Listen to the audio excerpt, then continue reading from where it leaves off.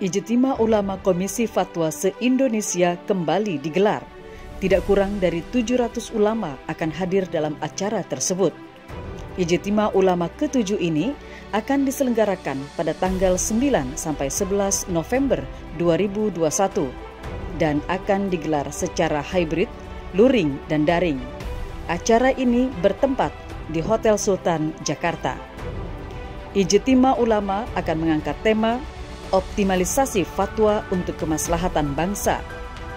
Isu-isu strategis menjadi sorotan ijtima ulama kali ini. Persoalan ekonomi, keumatan, dan kebangsaan.